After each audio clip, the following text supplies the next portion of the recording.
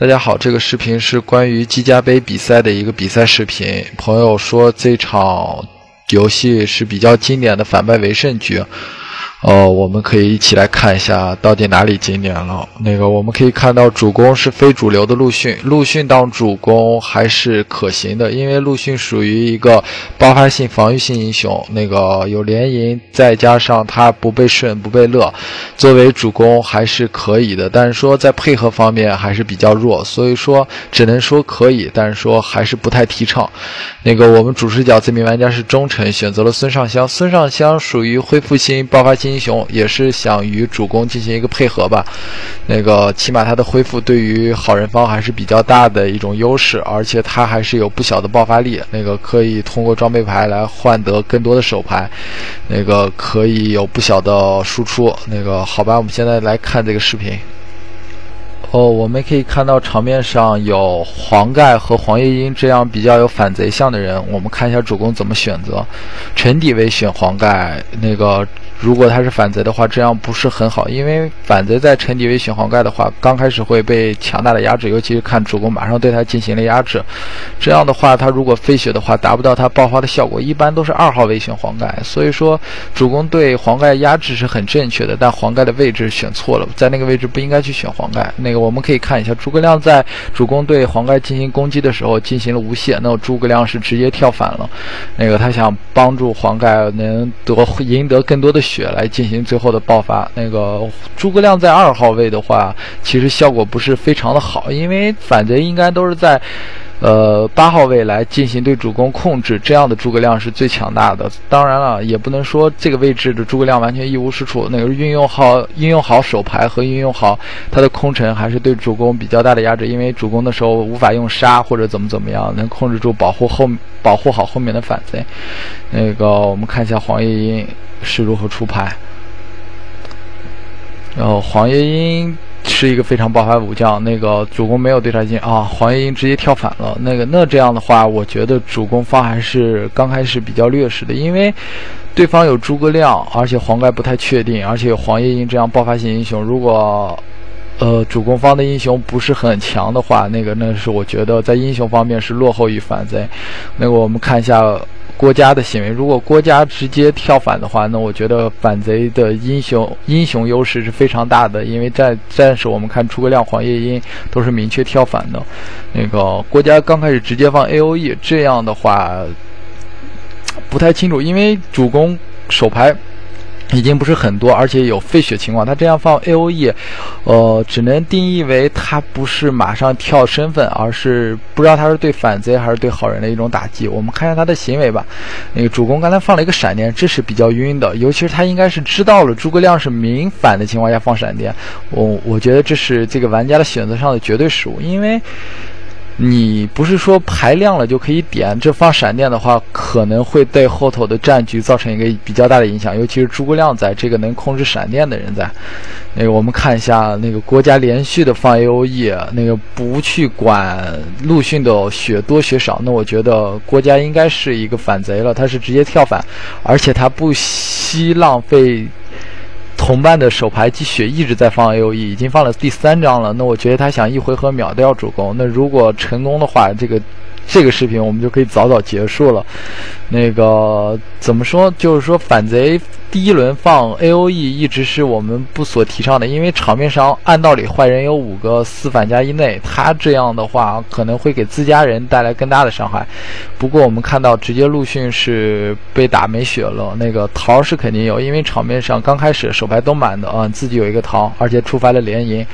哦，我们只能希望陆逊的连赢能连一一张更好的防御牌，而且我们可以看到朱郭嘉连续三张 A O E 没有杀死主公，而且已经跳了明确跳了三个反。我们的黄叶英血很少，那个可能造成黄叶英的死亡。那个这个方法，我觉得刚开始放 A O E 这种选择方法，我觉得还是一个战术上战术性上的错误。呃，我们看到夏侯惇。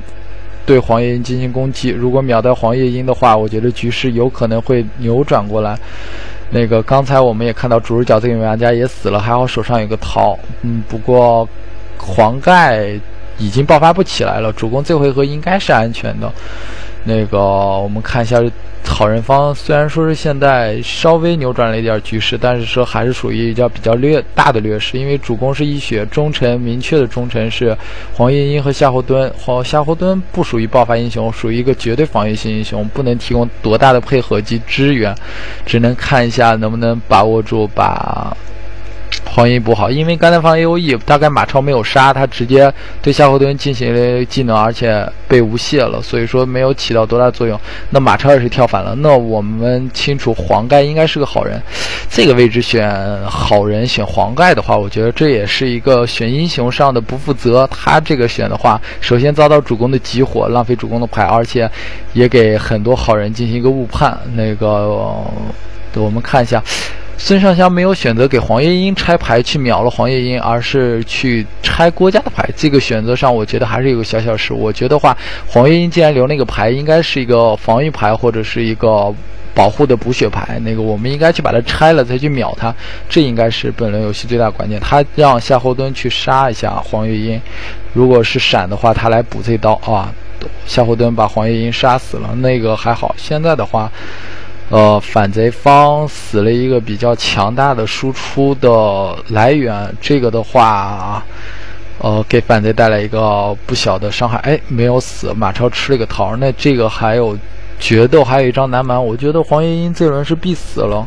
而且他手上有个桃，主公刚才用过一个桃，马超用了一个桃，场面上桃存在的几率不是很大。那个我们可以看到，这个黄月英应该是会死了。那样的话，我觉得反贼方。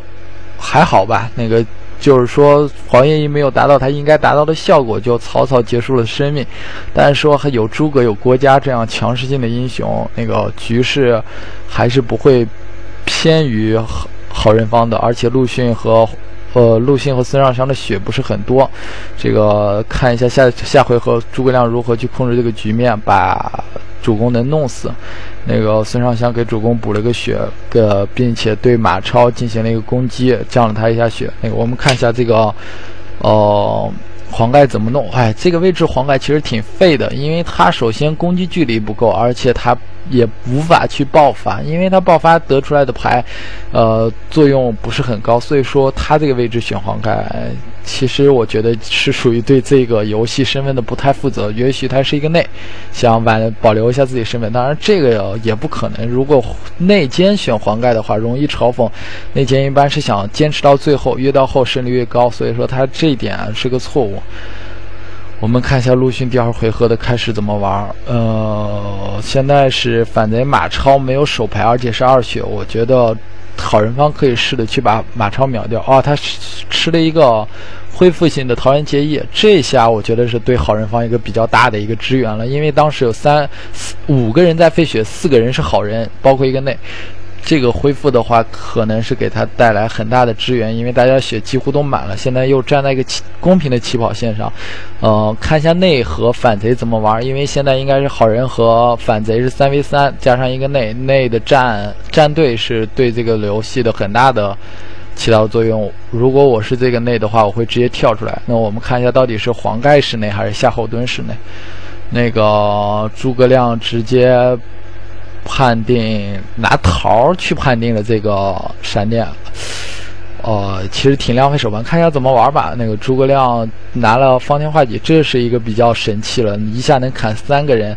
一般情况下，诸葛亮和刘备拿到方天画戟是大家比较着急要拆的东西，因为，呃。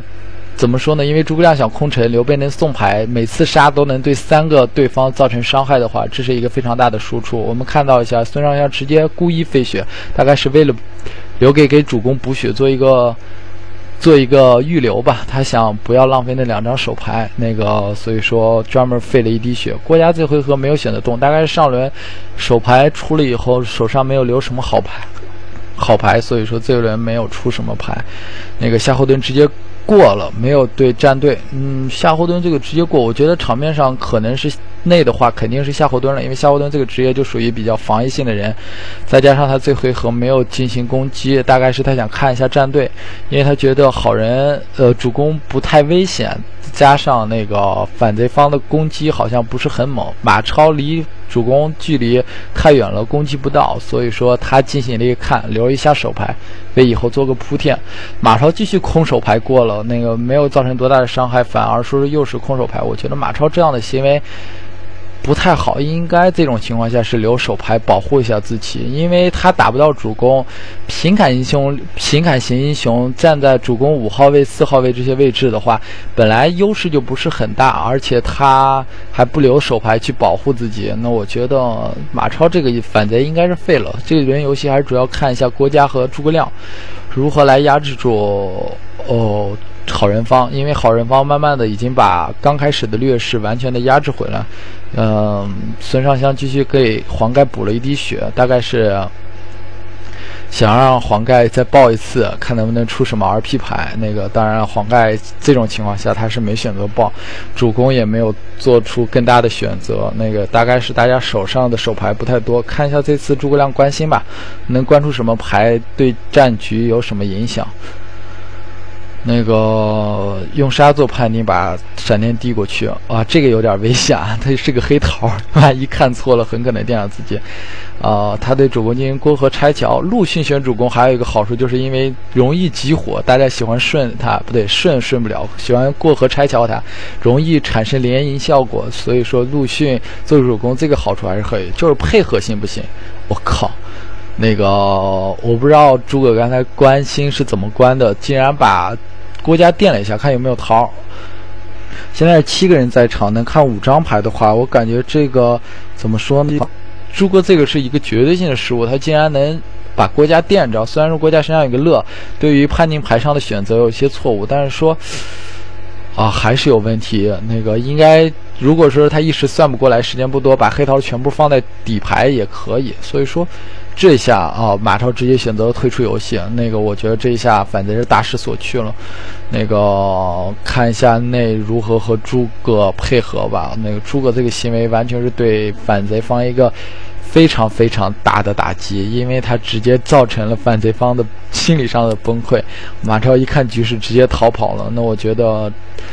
呃，好人方慢慢的已经占据了游戏。我们看一下内奸如何玩。夏侯惇这个英雄，我觉得在我看来还是一个属于比较废材型的英雄，因为他没有很好的爆发，没有很好的攻击输出，唯一是防御。防御的话，呃，一般情况下我都会避开夏侯，先去打别人。所以说他既然不能给。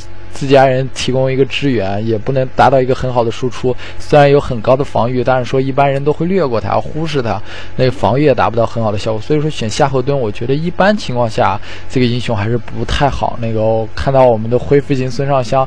虽然说这轮孙尚香的手牌没有得很多的装备牌，没有很大的爆发，但是说他的恢复起到了关键性作用，给黄盖、给陆逊不停的补血，而且自己的手上一直在存在的一个桃，呃，在危急时刻还能给主公进行一个补救，因为他一直去跟别人结姻的时候都是用的别的牌，桃是一直留在手里的，现在看见形势比较正确了，所以说把桃给吃了。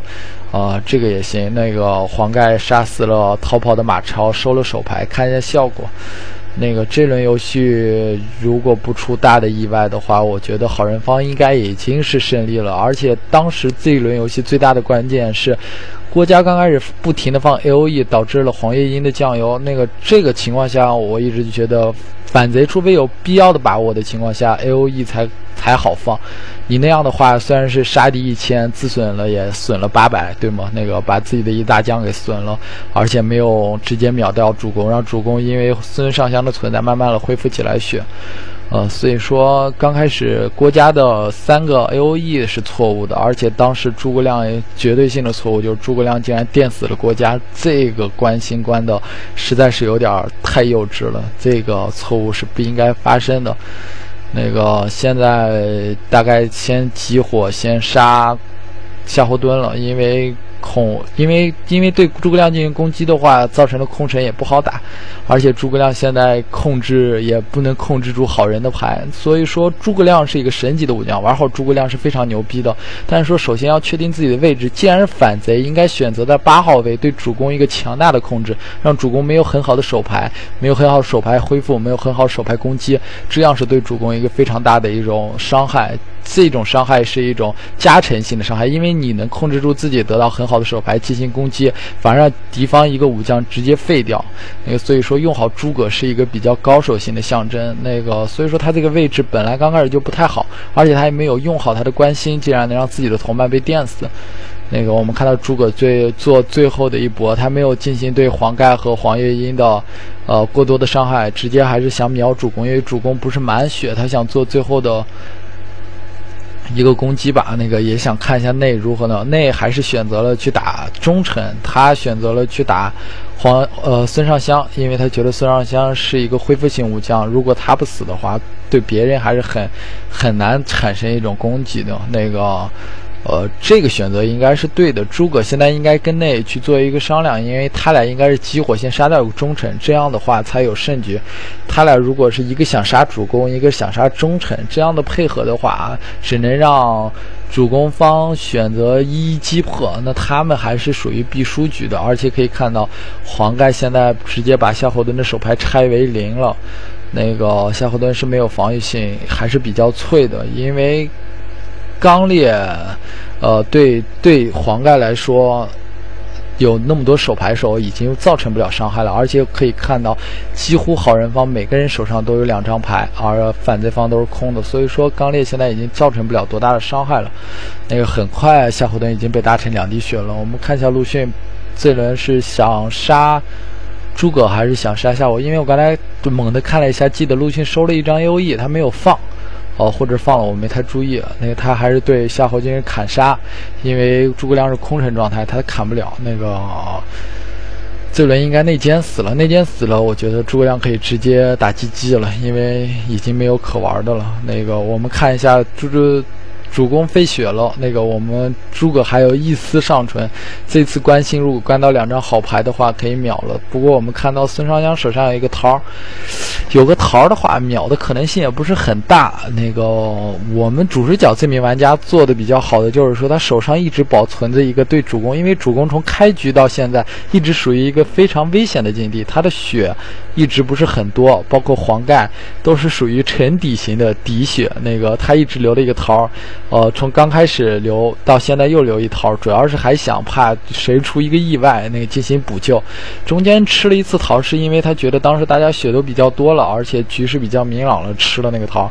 现在还好又留了一个，而且我觉得陆逊这次没连赢，应该手牌上还留了一个保护牌，不是闪也就是桃了。因为这种情况下不连赢，也就这种情况啊。夏侯惇把桃给牵走了，那我们看一下那个。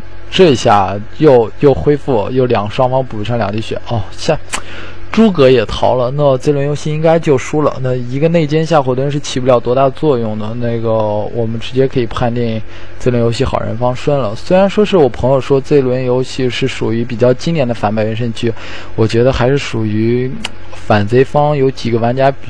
实力不是很强。首先是郭嘉在局势上的分析，他当时太心急了，他想秒杀主公，导致了黄月英的死亡，反而没有让主公方多大。虽然是胆战心惊了一下，但是没造成很大的伤害，因为陈几位几乎都是好人，前面跳了两反了。